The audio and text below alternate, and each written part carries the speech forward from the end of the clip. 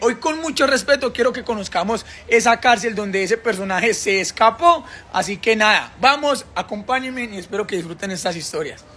Liendrita, ya para la catedral. Acá estoy con el parcero que es el guía. Era un policía que estaba en el, en el grupo de búsqueda, que estaba pues buscando a Pablo en su tiempo. Voy con el Cioli y voy con el Próspero que me acompañaron. Así que nada, vamos con toda. Liendritas, acabamos de llegar aquí a la catedral, señores. Estoy parado en este momento en el, bueno, lo que era el parqueadero. Esto ahorita mismo es un monasterio.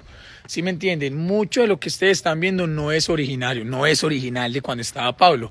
¿Por qué? Les voy a mostrar. Este es el parqueadero, allá quedaban los apartamentos donde vivían ellos, allá arriba quedaban las canchas donde ellos jugaban y esta es la entrada. Les voy a explicar un poco de lo que me explicaron a mí. Eh, la catedral no está original, ni están los muros parados, ni está todo como debe ser. No porque el gobierno lo tumbó ni nada, sino porque Liendritas, el pasero me contaba que vean, este muro sí es original aquí de la cárcel.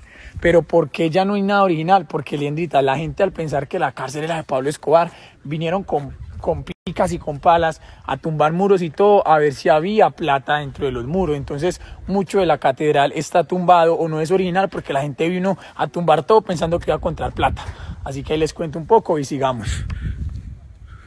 Liendrita, ya le voy a mostrar lo que es eh, la cárcel donde este personaje estaba y donde estaba el casino, porque era una cárcel que tenía casino. Esto era una, una belleza, vea. Está un poco todo deteriorado por el tiempo, pero esta era la parte del casino. Y les cuento algo muy bacano, Liendrita, y es que ustedes ven esto aquí.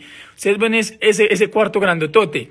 Bueno, en ese cuarto este Julano se tomó esta foto que ustedes ven aquí, esta famosa foto, se la tomó ahí, señores, porque este era el cuartel. Y esa foto tiene una que hizo es encerrarse en ese cuarto, coger el aviso así y tomarse la foto aburrido, como ustedes ven ahí, pero eso, eso fue mentira. Acá había una fiesta increíble, increíble, increíble, contado por Popeye en una entrevista y el señor me dice que es totalmente real. Liendritas, aquí podemos ver una pata de marihuana, esta de aquí, la cual fue consumida por Pablo Escobar en 1900. ¡Ah! ¡Ah! ¿Qué, qué? No, mentira, no. Eso yo no sé quién se lo fumó, pero lo dejó ahí.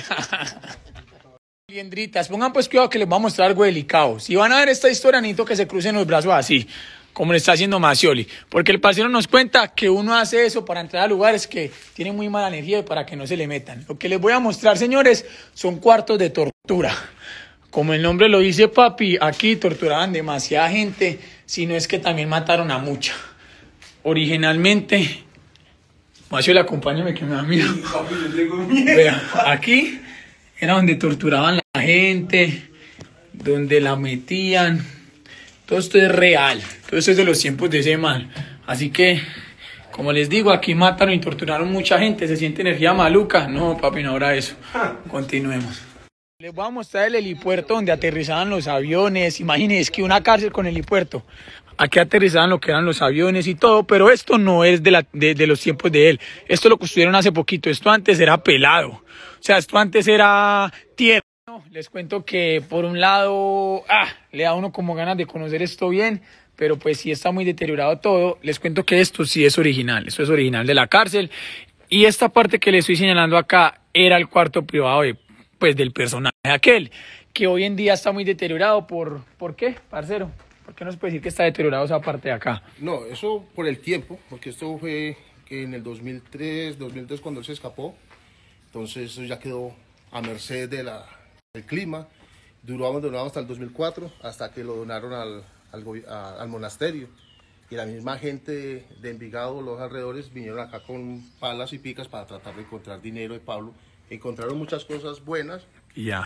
Andrés, estamos por acá, ya es que por el sector de, del, de, pues de- del túnel, yo la verdad quería buscar alguna forma donde pudiéramos ingresar a él y todo, pero eso fue hace mucho tiempo, entonces ya, ya todo está muy tapado, pero acá estamos encima del túnel, acá se oli brinque, se olía a ver.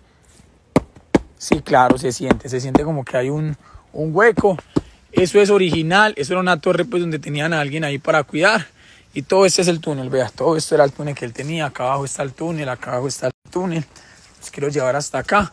Y les, eh, pues, ¿se acuerdan que les mostré que había quedado el cuarto de él? Resulta que todo el túnel subía acá y da con el cuarto de él. O sea, él desde su cuarto se escapaba, venía por acá y salía. ¡fua!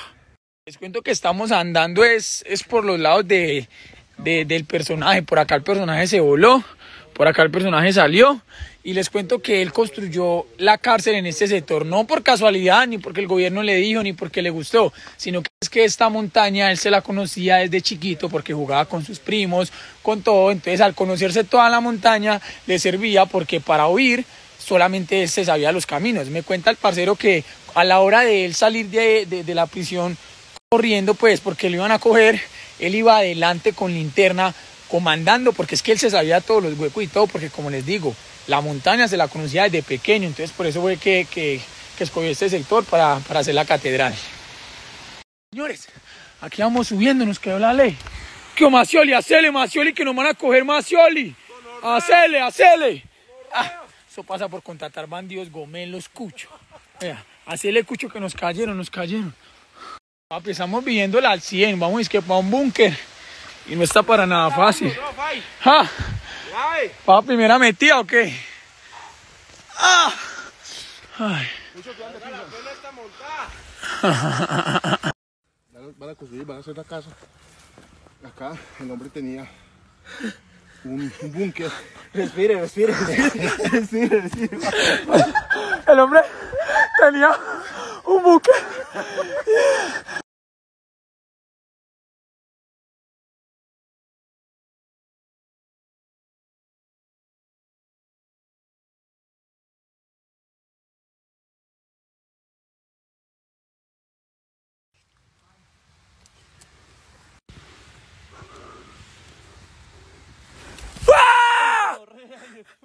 Le cayeron perros, le cayeron.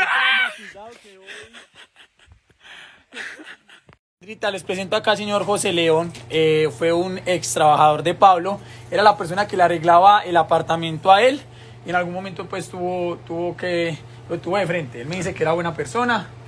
Le quiero hacer una pregunta a mi señor, ¿cuál fue la suma más alta que él le dio a usted en dinero por, por algún trabajo que usted le haya hecho? No, eso es incontable porque él me daba puros dólares. Puros dólares. Decía a mi hijo, tome, no los contaba ni nada, sacaba y tome. Pero una cifra que usted nos puede dar que usted diga, wow, este día me dio tanto y yo quedé. No, pues no pasaba de- eh, pues menos de un millón. Menos de me, un me millón. dio hasta 5, me dio hasta 20, 30. En ese tiempo era demasiado dinero. Señores, preparados para ver algo totalmente original de los tiempos de ese personaje, algo que sí estaba en los tiempos en, los que él andaba por aquí. Señores, vean.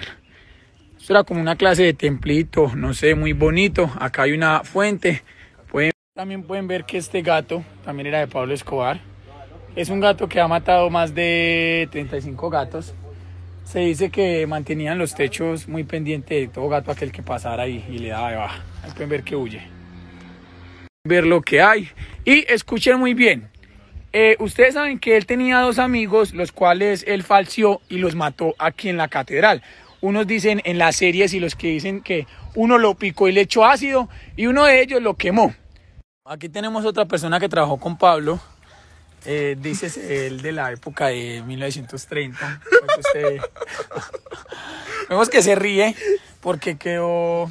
Ah, no, ya se puso serio. Joven, ¿usted en qué oficio fue? Que era Galeano, ¿no? Y dicen que lo quemó acá, señores. Dicen que acá fue donde quemó uno de los socios para que no se diera cuenta ni la policía ni las otras personas. Así que, mera vibra la que se siente. Trabajó con Pablo. Eh, yo le recogía los trastes. Los trastes. ¿Y cuánto fue la Y máxima? lavaba los trastes y toda la ¿Y vuelta. Le mantenía los, platillos, los platicos lindos. Lindo, sí. para que comiera pollito frito, frisbee. ¿Y cuánto? A él le gustaba mucho el frisbee. Perro.